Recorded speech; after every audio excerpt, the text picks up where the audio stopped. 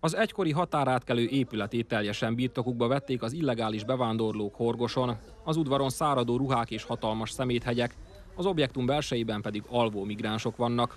Egy magát marokkóinak valló személy azt mondta, hogy folyamatosan próbálkoznak átszökni az Európai Unió területére, de eddig sikertelenül.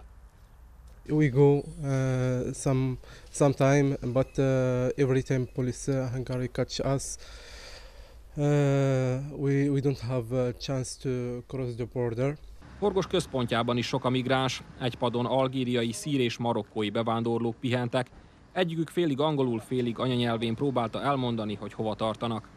I want to go uh, border is difficult a little. I want to go in uh, Otris, uh, inshallah.